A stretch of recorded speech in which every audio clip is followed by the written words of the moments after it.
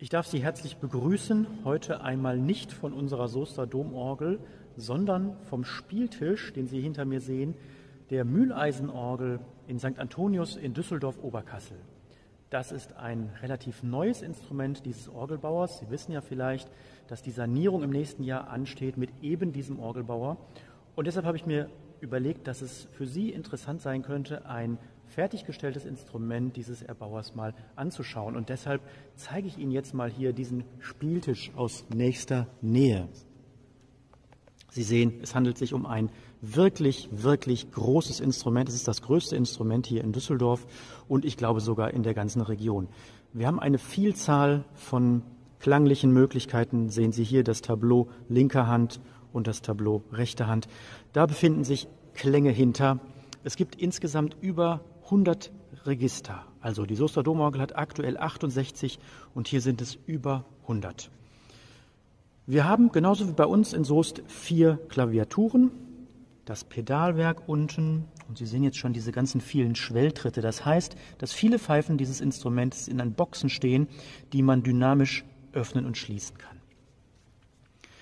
Das Besondere bei dieser Orgel ist, dass sie aufgeteilt ist. Wir haben hinten im Westwerk, ich schwenke mal hin, das bombastische Hauptinstrument.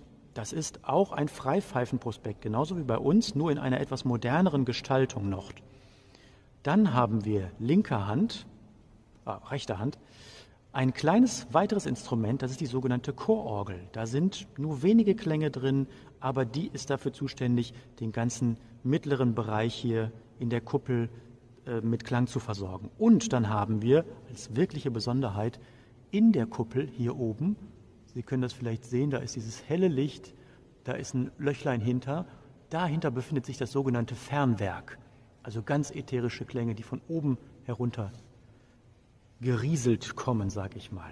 Und dann, last but not least, dieser wunderschöne, wirklich große und bombastische, eindrucksvolle Spieltisch.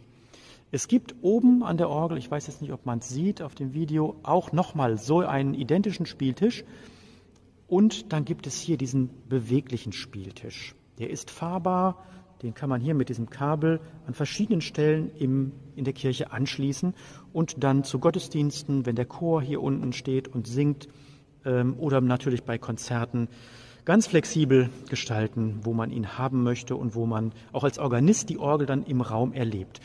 Und so ist das dann ähm, auch geplant wirklich bei uns in Soest. Also die Hauptorgel haben wir schon, die wird nächstes Jahr dann saniert werden. Es soll unten einen solchen Zentralspieltisch geben.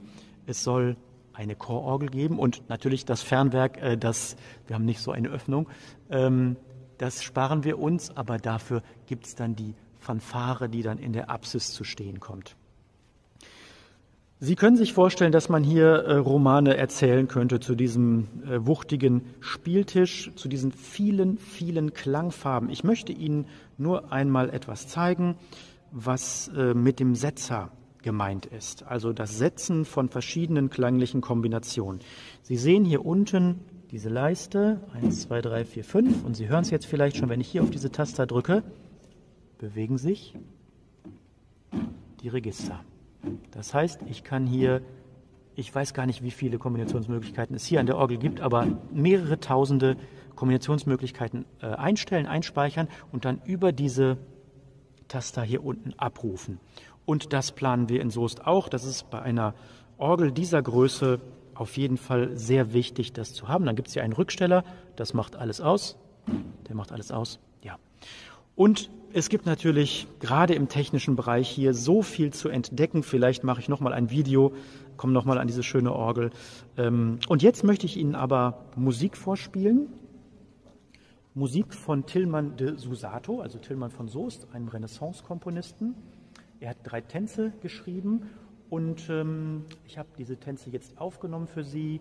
Ich werde die Hauptorgel spielen, ich werde die Chororgel spielen und auch das Fernwerk spielen und Sie können mal lauschen ich hoffe, das kommt bei der Aufnahme rüber, dass Sie diesen Unterschied hören, wo kommt der Klang gerade her und Sie werden dann auch sehen, dass ich über die Manuale ähm, ja, das verteile, die Musik. Viel Vergnügen damit.